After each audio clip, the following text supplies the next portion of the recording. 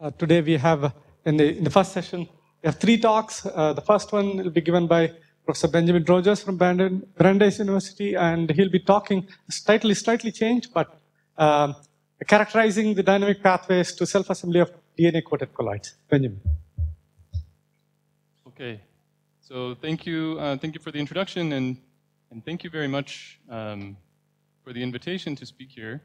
Uh, it's really my privilege to be here and uh, travel half around the world to meet new people and to present the, the research that we've started doing uh, in my group at Brandeis. And so my group is quite young.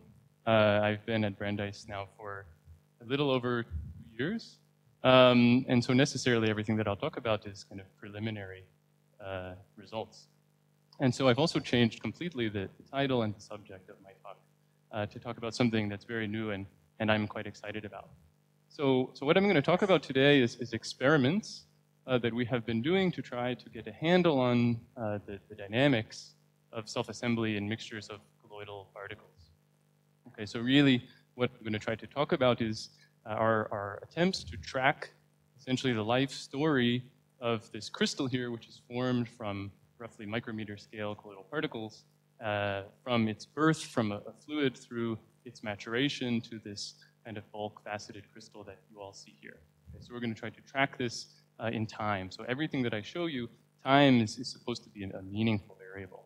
Okay, and uh, I, I, will put I will preface my talk by saying that everything that I'll show you is kind of early findings, uh, and and there are some open mysteries that I'd like to, to talk with you all about in kind of the coffee breaks or when there is free time. Okay, so that's that's my preamble. So, so the motivation for my, my work is, uh, to try to better understand this process self-assembly, which we have heard a bit about over the course of today.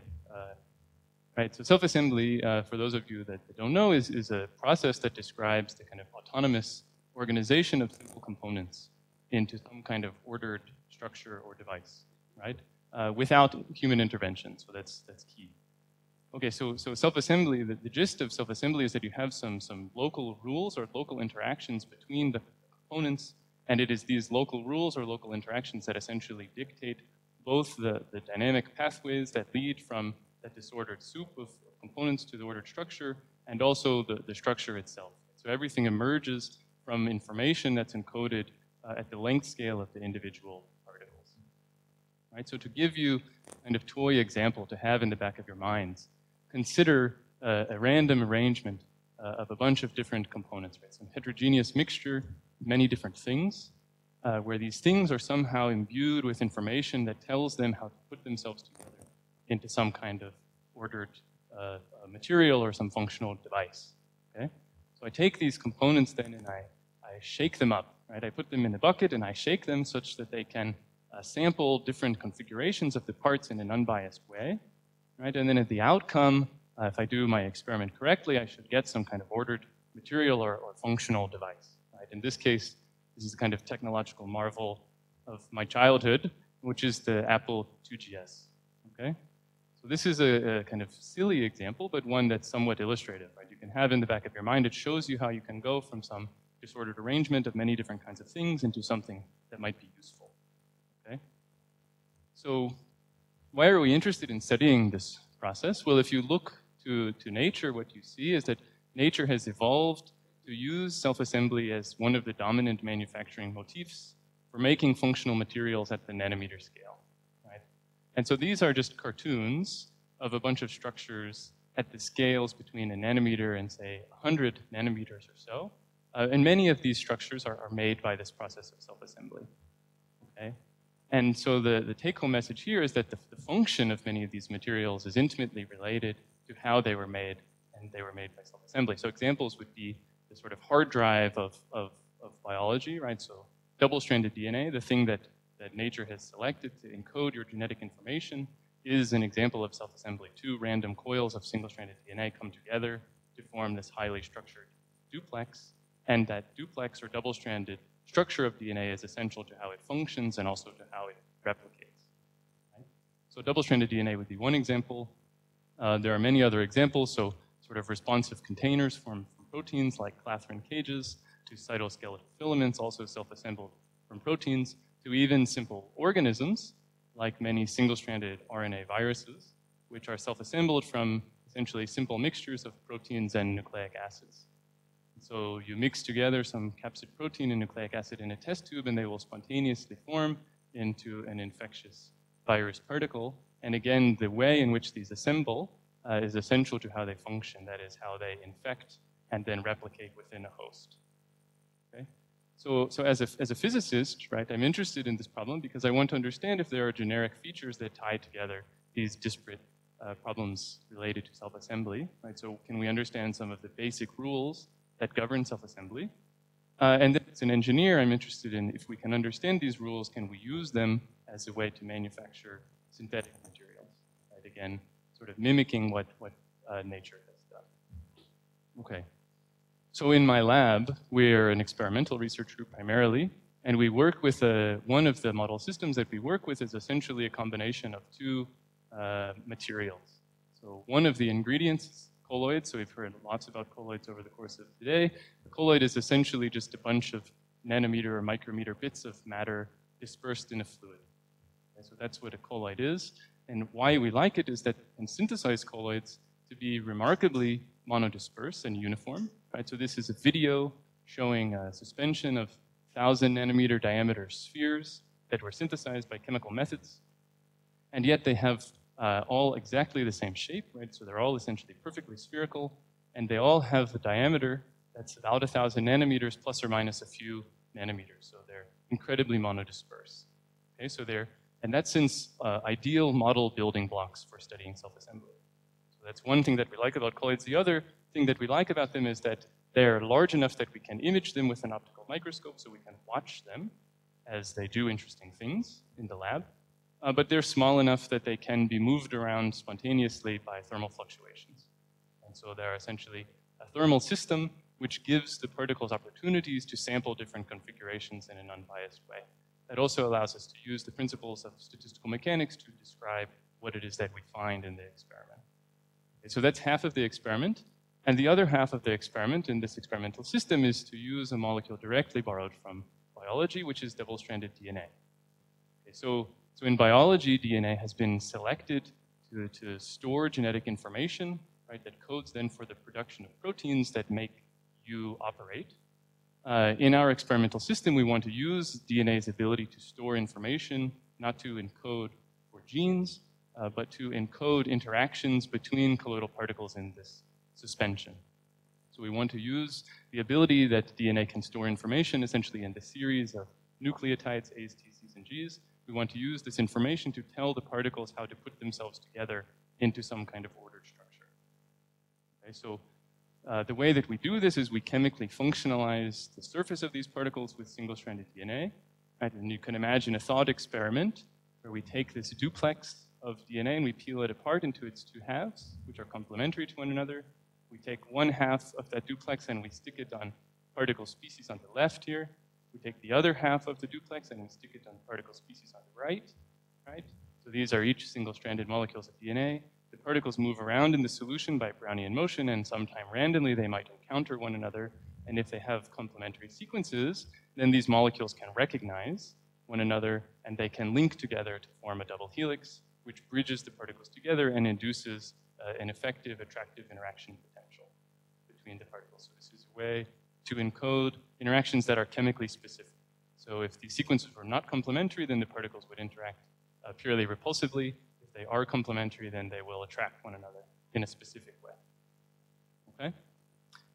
Now, in reality, the particles are not coated with only individual molecules of DNA, but they're coated with, say, 10,000, maybe 100,000 uh, molecules of single-stranded DNA. Uh, and this is my best attempt to draw a roughly to scale uh, diagram of what one of these particles might look like. So the particle is 1,000 nanometers across, and each one of these molecules of single-stranded DNA is about 10 nanometers in size. So it's about 1% or so of the particle diameter. And this gives you a rough sense of the coating of the molecules on the surface of the particle. Okay? So the fact that the DNA molecules are about 1% of the size of the particles means that the interactions that emerge from hybridization of these molecules is incredibly short range. Right? So we're essentially operating in what some call the sticky sphere limit. Okay, so that's, that's the experimental system. Um, this is a video of this experimental system again. right? So now we have uh, two kinds of particles, uh, A and B, which we've colored with different fluorescent dyes, and we're imaging them again uh, in an optical microscope. Here, the color just indicates the sequence of the molecule that's grafted to the surface of the particle. So all of the red particles are coded with one sequence, all of the blue particles are coded with a different sequence, and in this case, we've designed these sequences so that they're complementary to one another. That makes red stick to blue, but red doesn't stick to red and blue doesn't stick to blue. Okay? So in such a system, if we heat it up, one thing you may not recall about DNA is that it's temperature sensitive. So if you take a double helical molecule of DNA and you heat it, it will dissociate into two free single strands of, uh, DNA that's due to, to entropy, right? And then if you cool it down, that transition is reversible. The molecules will come back and form the duplex again. So if we heat the same, this system of particles up, all of the bridges that would otherwise link the particles together will dissociate and the particles will adopt a kind of uh, random or a random structure. It's rather dilute. It's reminiscent of something like a fluid. Okay, so you have a fluid phase at high temperature, and if I take this fluid, excuse me, and I cool it down such that the interactions between the particles get stronger, right? The attractive interactions turn on, then these particles can spontaneously assemble, uh, in this case, into uh, an ordered solid phase, right? so into a crystal. And here the symmetry of this crystal is uh, dictated uh, by the sequences of DNA grafted to the particles, right? So again, the structure that emerges here comes from uh, information at the level of the individual building blocks. Okay, so you can see this is a crystal, right? The particles are arranged on a regular lattice. Uh, you can see not only does it have quite good positional order, but it also has remarkable compositional order, right? So all of the blue particles sort of line up next to one another, all of the red particles line up below that, and so forth. And by looking at the spacing between the atoms, um, uh, we can solve or we can, uh, we can in, infer what the structure of this crystal is, and this one, I, I believe, is, uh, is isostructural with cesium chloride. Okay? So this is the basic idea, right? So the interactions are chemically specific and they depend on the temperature.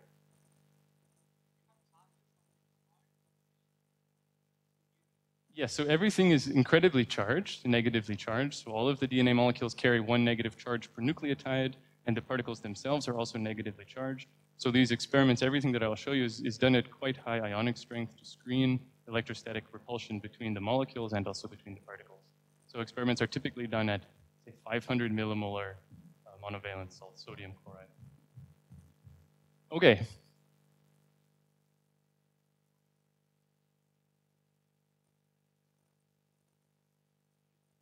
Correct.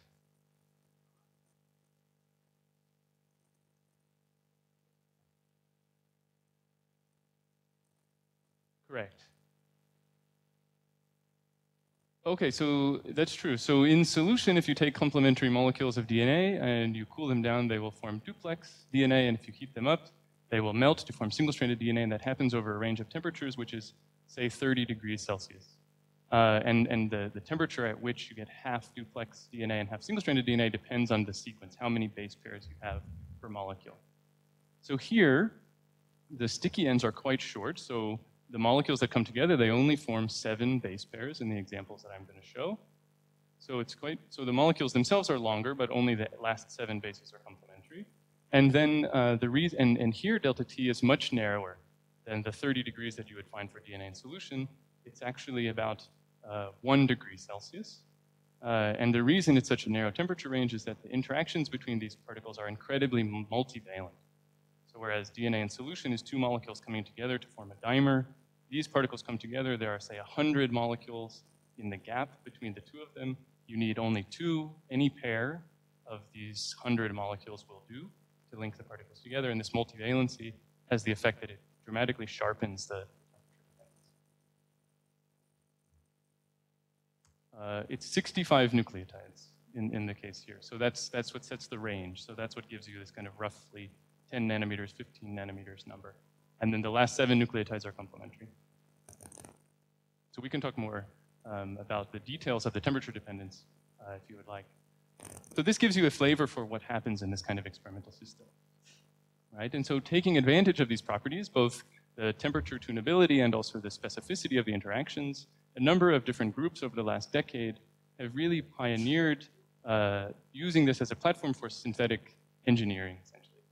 Uh, so this is a nice example from Chad Mirkin's from eight years ago or so, where they showed that you can, by changing the interactions via the sequence, right, you can direct suspension of, of nanoparticles to form into a variety of different crystal lattices. So here they show seven different crystal lattices in this one figure, where they specify the formation of each of these different lattices by changing the interactions via this. Okay? And so here, the, the black and white images are electron micrographs taken using a transmission electron microscope. Uh, and you can see the particles in white. And then uh, to the left of those TEM images, you see a cartoon of the unit cell that corresponds to the structures that they have formed. So you can see that they can make simple structures like BCC and, and FCC crystals, but they can also make crystals that are much more complicated that have some 20 odd particles in the, in the unit cell. Okay? And so these results were recently recapitulated at the micron scale uh, by David Pine at NYU, um, and there's another host of, of interesting structures that, that people have made. So on, on, one hand, right, the idea that you can use DNA to build materials um, has been realized. Right? So these are sort of triumphs of molecular engineering showing that you can put information into particles and use that information to encode the structure that forms at the end of a self-assembly experiment, right? But on the other hand, I told you at the beginning in slide one that self-assembly is a process that takes you from a disordered mixture to this final ordered state, right? And these pictures, I would argue, tell you very little about how that process actually evolves in time. Right?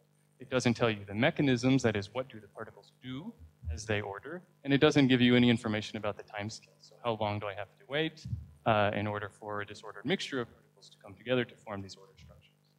And so that is the question that I would try to like uh, to make some progress on today. Right? So what are the, the pathways that lead you from the disordered initial state to this final ordered state?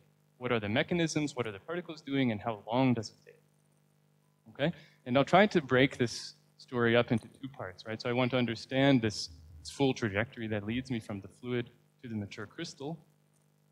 I'll try to break it up into two parts. The first part is, okay, well, tell, I would like to learn something about how the solid is first initially, uh, first initially appears from the fluid. Right? So I'd like to know how a crystal is born from a homogeneous fluid phase. Right? So something about this initial nucleation process. So questions that we have been thinking about is, well, is this process, the birth of the crystal from the fluid, is this an activated process? Is there a free energy barrier that separates the fluid from the crystal? Is it a single barrier? How tall is that barrier? And so forth. The second part of the story is once I have born a crystal from the fluid, what are the mechanisms and the rates that it takes to grow from this uh, sort of, you know, baby crystal into a mature adult? Right? So what, what are the dynamic processes involved in growth? So questions you might think about is how, how does growth, what are the mechanisms of growth? Is it just, is it some simple reaction or diffusion limited process? Is it something more complicated that depends on the nature of the crystal that you're forming. Okay? And then going forward, I'd like to try to tie all of this together to understand what is the interplay between the dynamics of self-assembly and the structures that come out. So are the structures that come out only those that, say, minimize some free energy, or do the dynamics play some role in determining maybe the structure you get at the end of the self-assembly experiment? And even not, how do the details of the crystal affect the mechanisms by which it grows? So that's where we'll try to go in the, in the longer term.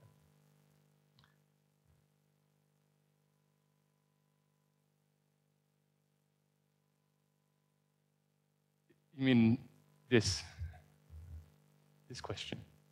Well, so it's certainly known in many cases, but I would argue, at least in the, in the case of colloids interacting by this kind of, uh, so where you have attractive, short range attractive interactions um, that are chemically specific, so you can make things like complicated alloys. I don't know that there's an experimental demonstration that says explicitly that nucleation is an activated process. Perhaps none of us will be surprised when we show that it is, uh, but there's still some value in showing uh, via direct uh, experiment that, that it is what you would expect. Okay, so this is our aim, right? Our aim is to characterize the dynamics of nucleation and growth in an experiment using direct observations.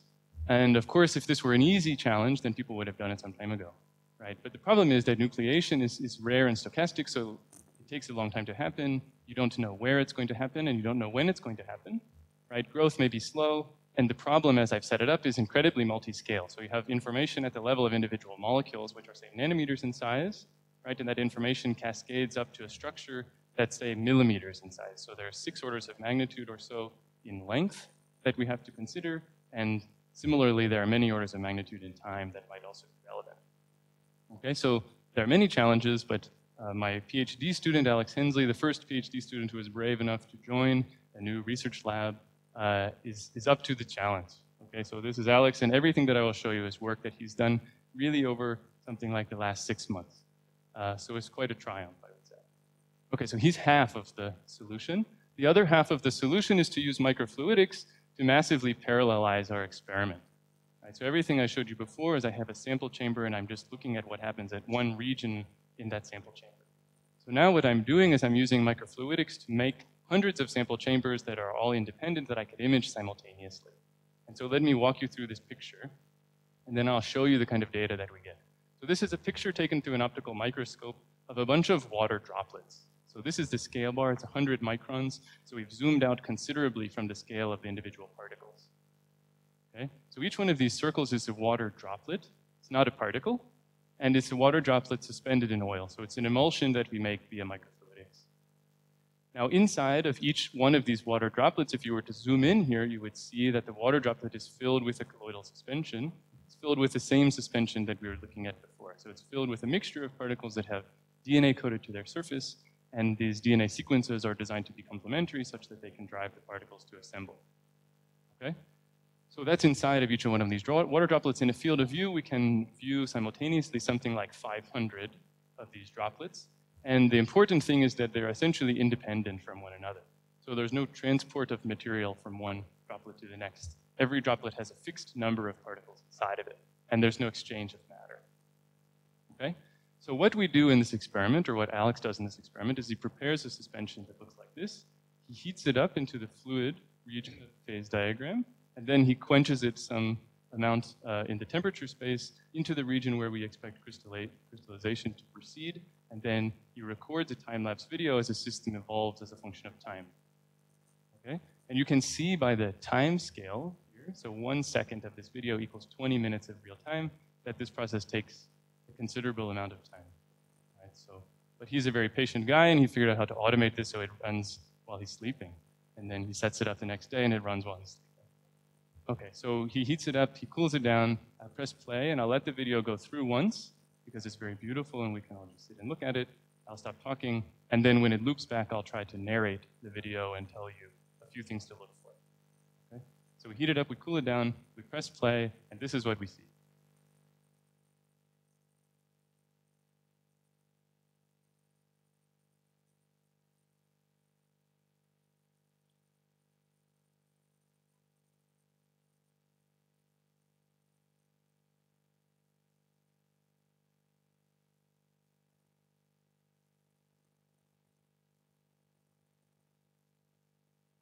Okay, so this, this entire video spans about eight hours of real time.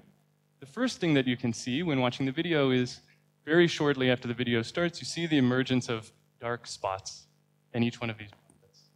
Okay? So these dark spots that you see in each one of the droplets is a crystal.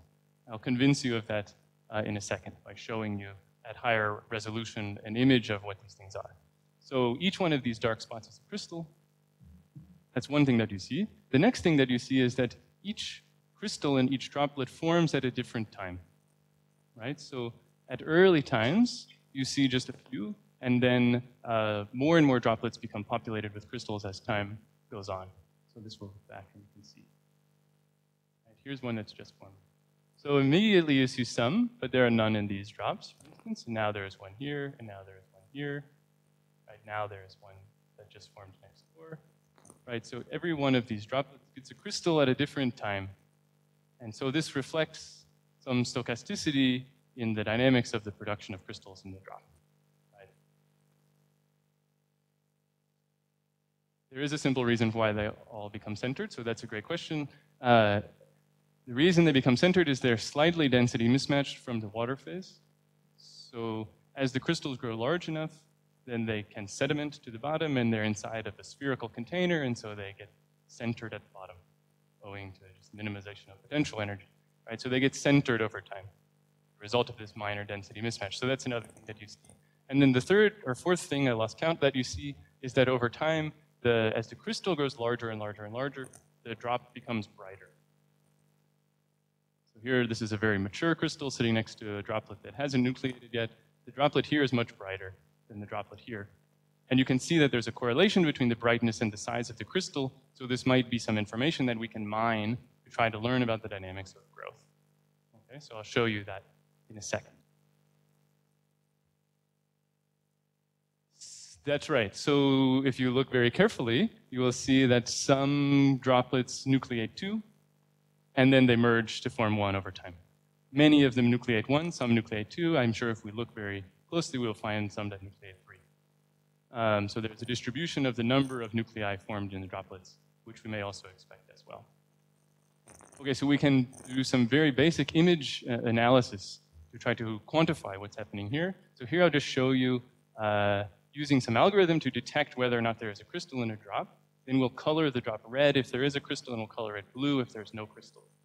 Okay, so right off the bat, you can see we have a false positive, but this is, you know, truth in advertising, right? So there's a false positive. The false positive here comes from the fact that there is a piece of dirt on the sensor of the camera.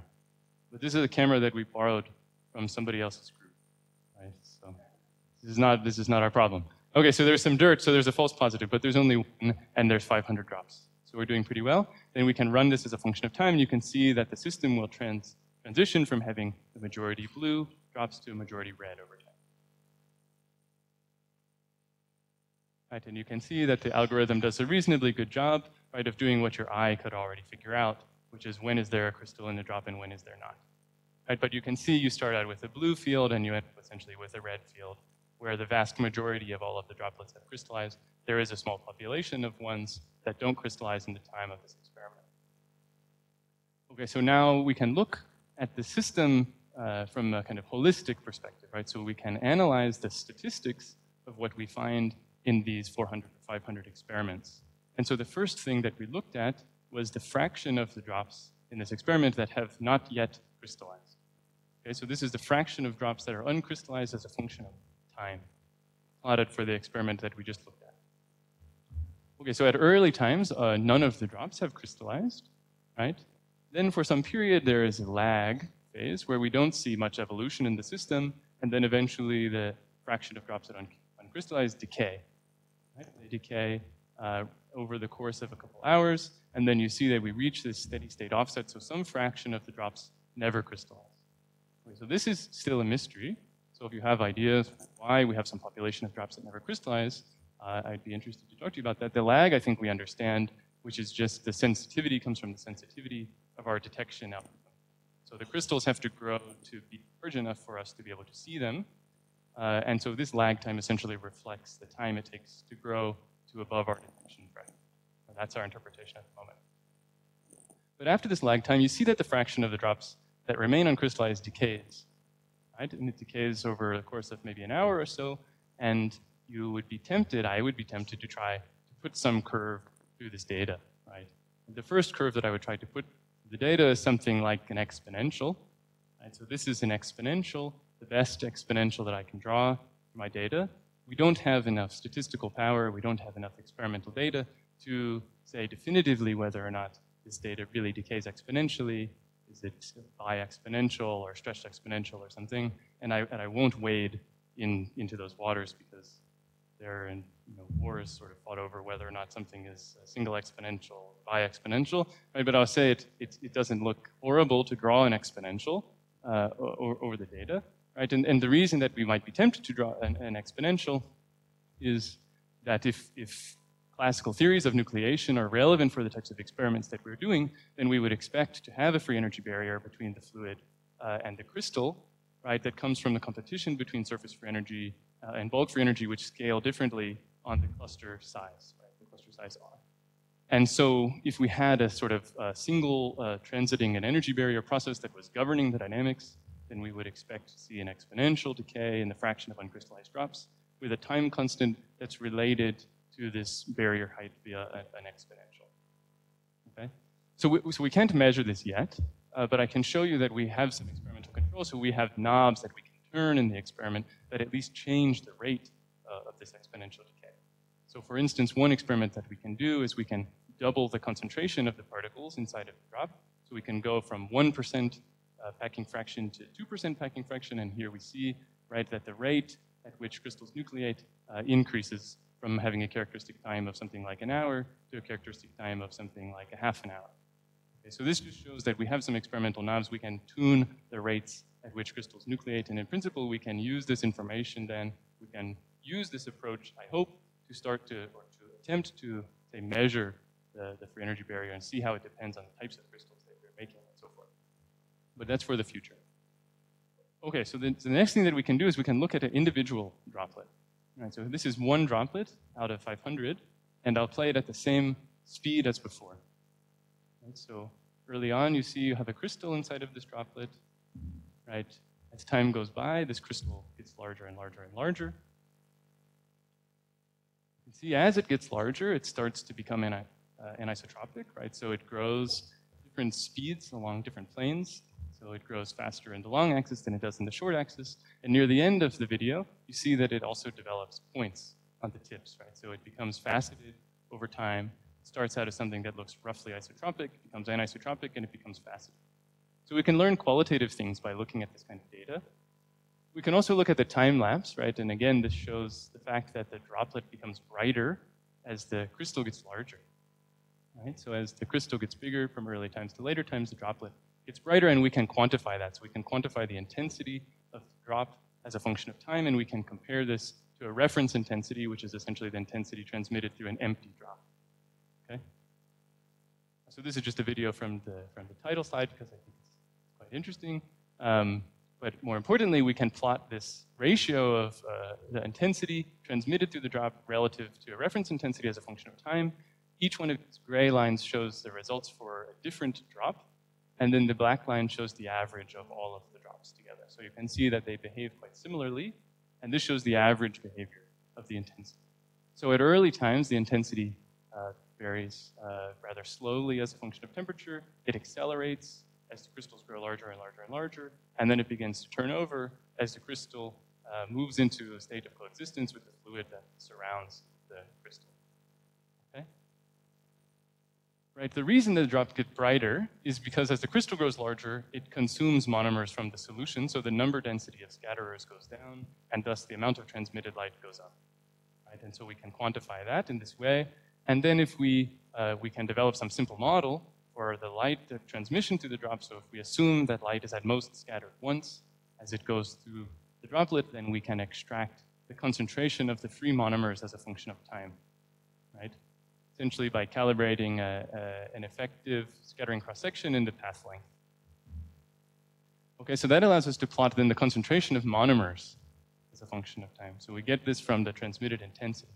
So here you can see the two data sets that I showed you before right? If you add twice the number of particles, of course, you should have twice the number of monomers at the initial time, and you can see they both decay over the course of three hours or so uh, before they essentially plateau.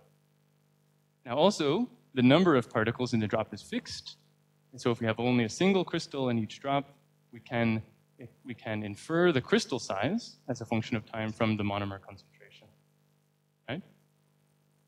And then from this, we can compute the growth rate. Right? So we have the crystal size as a function of time. We can take the numerical derivative of this to get the growth rate. You see that the growth rate changes as a function of time. Everything is changing as a function of time, though. The monomer concentration is also changing as a function of time, and the crystal size is also changing as a function of time. So these things are all coupled to one another, but we can try to do our best. And the first thing that we did was we just plot the growth rate as a function of the monomer concentration. And if we do that, what we end up with is something that looks like this. So we get a growth law that's kind of peculiar looking, right? So it's non-monotonic. This is the growth rate as a function of the monomer concentration. Now the reason it looks like this is because all of these variables are coupled to one another. Right? If you think about our experiment, what happens, our experiment starts at high monomer concentration, right, before any crystal forms. As the experiment proceeds, the monomers get depleted as the crystal grows, and so you essentially move around this envelope going from right to left. Right? So at early times, the growth rate increases quite rapidly. It increases rapidly because as the crystal grows, its capture radius grows. So this is due to the growth of the crystal. That's why the growth rate is increasing. And then eventually you go over this maximum because the crystal starts to deplete monomers, and then the growth rate starts to go down. Eventually it goes down to zero again. Okay? So that's where this form comes from. So what can we understand about this? So uh, as I said before, I'm an experimentalist. Right? So this is a dangerous thing for even me to do, but I can try to write down some transport equation, say, to model the growth in some simple limit. Right? Or at least I should try to. Okay, so the model that we turned to was let's assume we have a spherical crystal that has a radius r that's in a bath of reactive monomers. Okay, so we have a bath of reactive monomers in, that's, that's in the mixture of a reactive surface of a sphere. Uh, I can solve then the, the steady state uh, concentration uh, profile as a function of r, so the radial coordinate, and at r goes to infinity, you get the bulk concentration, and then this decays to some interfacial concentration, which is the boundary condition that I don't know a priori.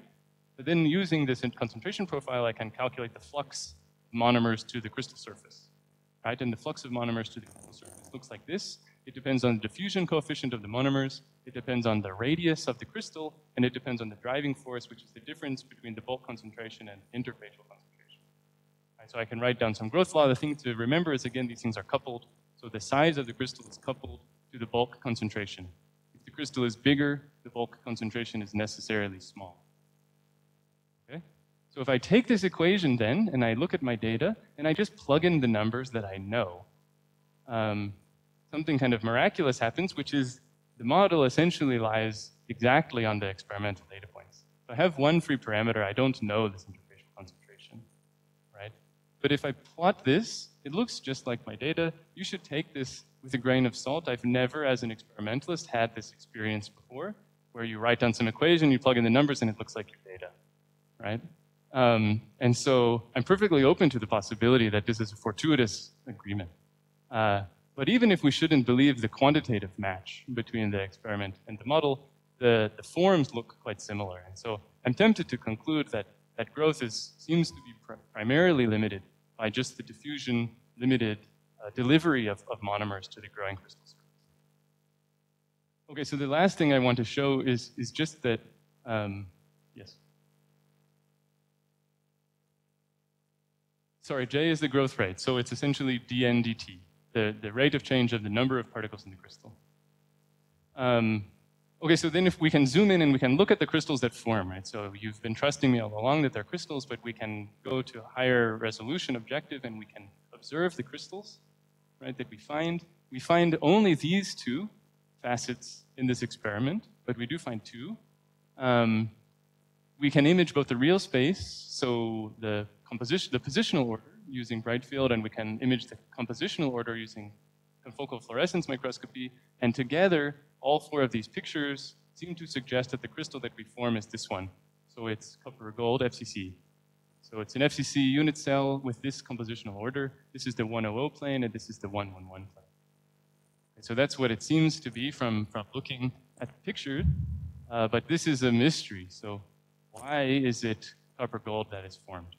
The interaction matrix was chosen so that A likes B, A doesn't like A, and B doesn't like B.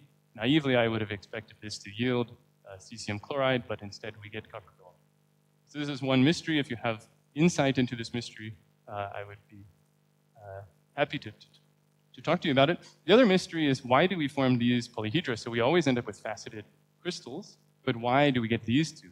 So there's a sort of vast literature to predict what the polyhedron you should get from, say, minimization of surface free energy. And uh, one of those would be the what's called the Wulff construction, and the Wulff construction predicts that for this crystal structure, you should get a truncated octahedron, something we heard about in the, in the earlier talk, right? And so one of these facets looks kind of like this one, but this is a, co this is a mixture of square and hexagonal faces, and we never find a square facet. So this is a mystery uh, number two, right? So this looks more like uh, the rupee from Legend of Zelda, for those of you that are uh, video game fanatics. Okay, but so taken together, right, looking, looking over all of this data, we can, we can measure information about nucleation. So how does the crystal spontaneously emerge from a fluid? We can start to get dynamic information about how that crystal then matures and grows into a bulk crystal, right? And then we can begin to correlate that type of dynamic information with the structures that come out at the end of the experiment. Right? And this spans both a variety of different length scales and also time scales.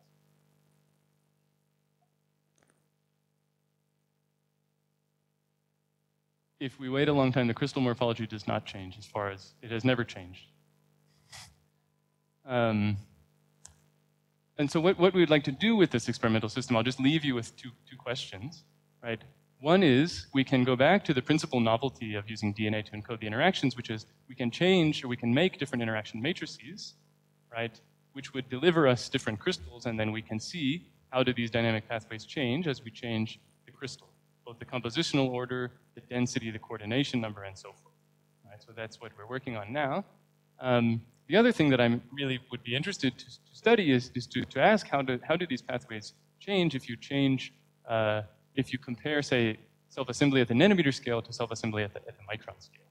So if you look at the literature, you will see that there are examples of self-assembly of, say, 10 nanometer diameter particles and 1 micron diameter particles, both using DNA, and they always yield the same structures.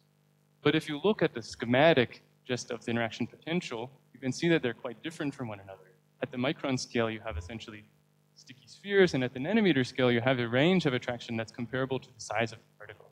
And so although the structures that you find at the end of an experiment look similar, uh, I would say it's an open question as to whether or not the dynamics of the pathways that lead you to these structures are at all similar.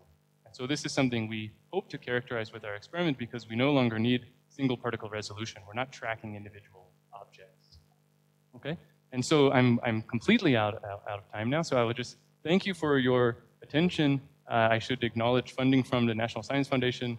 Uh, this is my contact information. If you'd like to get in touch or see more about what we're doing in my lab, and I'd be happy to take any questions that you have.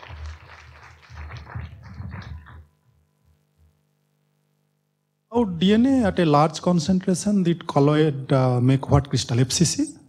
very, very uh, dense concentration, they will make only FCC? The dense concentration of Yeah. Uh, I, well, that I don't know. Um, I think it, I guess it may depend. All of these experiments are done at remarkably low densities. Right? So the packing fractions here are on the order of a percent or so. So, so, so when you are coating this now with this uh, DNA, uh, one green and one red color, so they are coated uniformly like the whole sphere? Yes. Or are there any directionality coming because of the low concentration in one side and?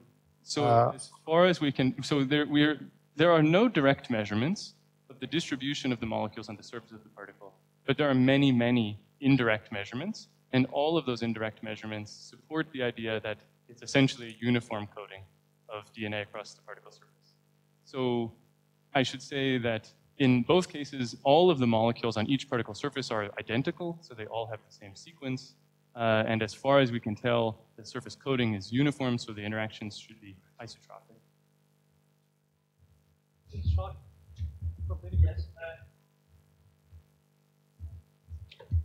Okay. Yeah, sorry. Um, uh, about the kinetics, you, you showed a picture where you analyze whether there's a crystal in a cell or not, and then later you did the kinetics. And then you could actually see the growth and, and compute back to what it would be when actually you have something the size of a critical nucleus. Because I guess that what you see is not the size of a critical nucleus. So can you now tell when the actual nucleation event happened and how much, how long the real lag time is? Yes, so that's that's a that's a great idea. We have um, we have done this to some extent, but we haven't actually tried to, to analyze the outcome in any in any kind of delicate way. but yes, from the growth, we should be able to project back to the time at which the crystal really born, and we can compare that to the, to the lag time. I think uh, using round numbers, those, that's going to work out uh, as you would expect, I think. Whether or not we're going to be able to see something, is there a real physical lag time beyond the one that comes from our detection limit? That I don't know. Yeah. Jimin, um, I, I may be wrong, but I had heard that a seed is required for any nucleation process.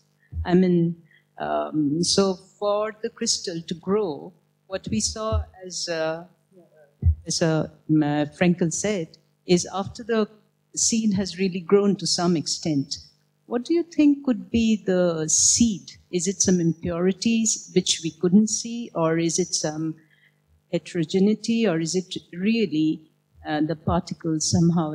Any light on this?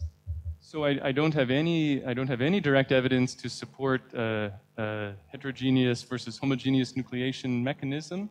There are certainly plenty of things that could serve as nucleation sites in our experiment. So there's a container. So the container wall could serve as a nucleation site. Um, we do everything that we can to prevent particles from adsorbing to the surface of that container. But if we were unsuccessful, then certainly if we had particles at the interface, those could serve as nucleation sites. We may also have small aggregates of particles in the suspension that could also serve to nucleate. Um, all of these things are possible. We just don't have enough information to say it's one or the other.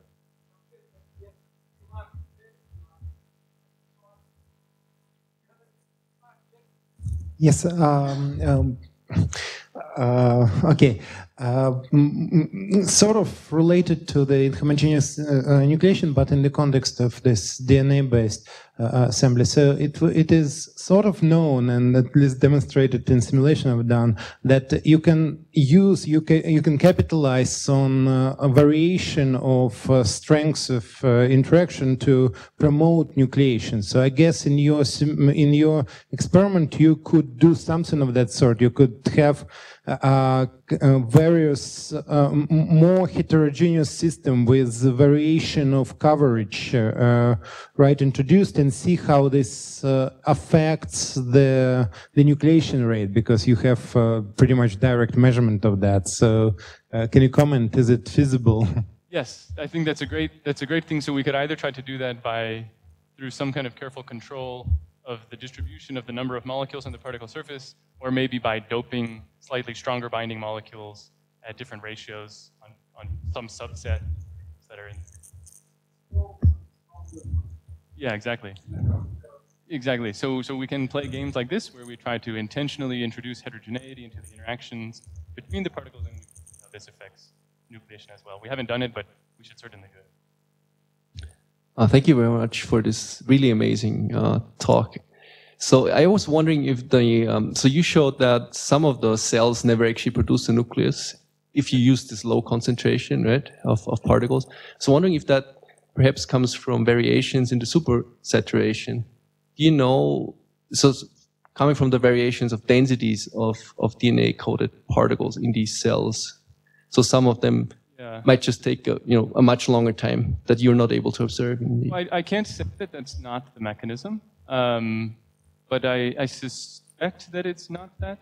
Um, so the, I think there are something there are 50,000 and odd particles in every droplet. So I think you know variations that come just from delivery of different numbers of particles to the different drops is probably going to be pretty small.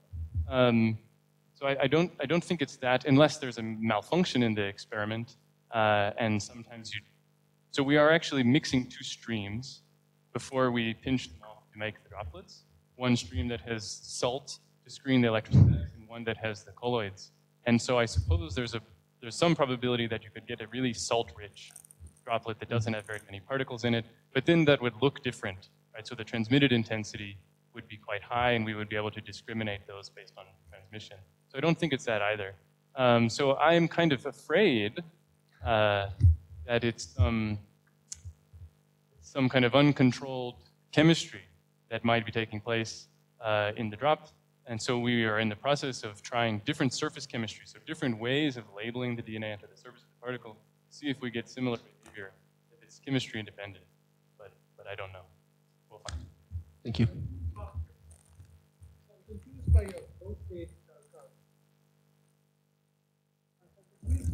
rate curve where you go, um, uh, is that uh, growth rate as a function of, so it's monomer concentration, right? So I guess it goes to zero at high monomer concentration because R goes to zero in your. Correct. But that, that then seems more like a flux than a growth rate. Because the higher the monomer concentration, you imagine that the growth rate should go up. So am I getting something wrong here? Sorry, can you say that again? So I would imagine that the higher the monomer concentration, the growth rate should go up, right? So why does it go down? Is that, I, I see that it comes from R going to zero. Yes, that's right. But then that looks like a flux rather than a growth rate. It's not right? Um, so I think I, I think if we I think if we work out the dimensions here, I think this is just dndt. It's the change in the number of particles as a function of time, um, and and it goes to zero here because there's, there's nothing there's nothing there to grow, right? So the crystal is infinitely small, um, and so the capture radius of that crystal is incredibly small, despite the fact that the monomer concentration is very high.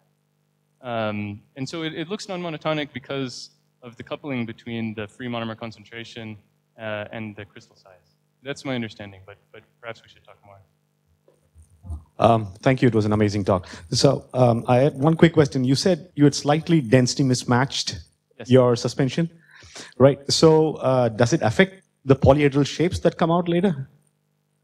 Yeah, so that's an interesting uh, question. So we have done a few experiments to mo- more closely density match the particles to the solution by adding sucrose to the buffer, and it doesn't seem to change uh, the crystals that we form, so the symmetry of the crystal itself, or the polyhedra that we find, but we see a different, it changes the distribution. So it changes how many rupees we find relative to how many hexagons we find. And so I believe that's just a product of how the things sediment. And so we change how they sediment so they fall on different faces and different proportions, but the crystals otherwise look. So I was hopeful that we were going to get chloride if we density match because maybe gravity is playing some role in essentially compressing or squeezing the crystal from a, from a non-close pack to a close pack structure. But if we take gravity out of the picture more, we still seem to get the same